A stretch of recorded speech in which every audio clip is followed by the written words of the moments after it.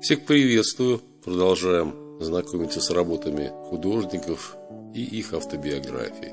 Альфред Ле Петти, известный под псевдонимами Альфред Ле Грант, Капрал или Черт. Французский художник, карикатурист и фотограф. Я пользуюсь Википедией.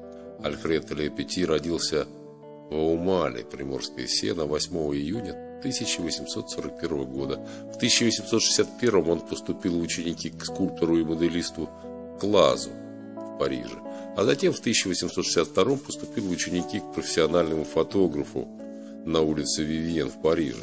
Занимался фотографией для личного или коммерческого использования с 1860-х годов и задокументировал мелкие ремесла в городах, сельской местности в 1880-1890-х годах. Был учеником школы изящных искусств в Руане под руководством Гюстава Морена в 1866 году. Изучив рисование, живопись и фотографию, занялся карикатурой в Руане. Находясь в Париже, он давал рисунки для ревью Андрея Гила и Франсуа Поло «Затмение» в 1866 году.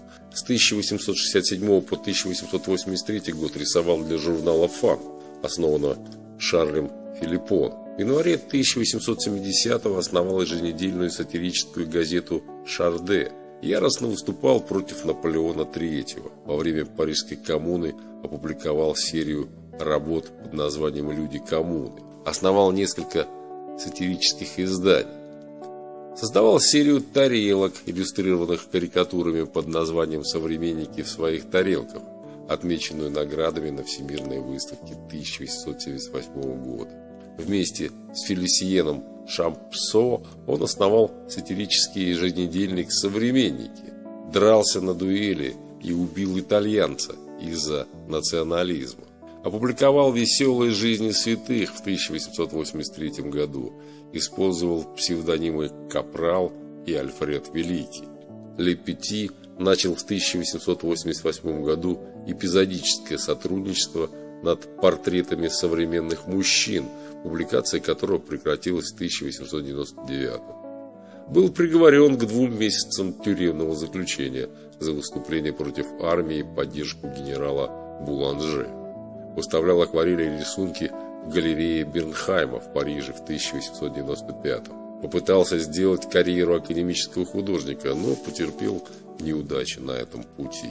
Довольно плачевно закончил свою жизнь, создавая карикатуры для туристов на первом этаже Эйфелевой башни и пел в кабаре под аккомпанемент своей скрипки. С 1903 по 1905 годы находился в больнице парижского отеля «Отель Диа», вел там дневники, делал зарисовки, которые будут опубликованы в книге «Я болен». Умер 15 ноября 1909 года. Ну вот так вкратце о французском художнике-корректуристе и фотографе Альфред Ле Петти, известный под псевдонимами Альфред Ле Грант, Капрал или Черт. Пока-пока, до свидания, смотрим работу.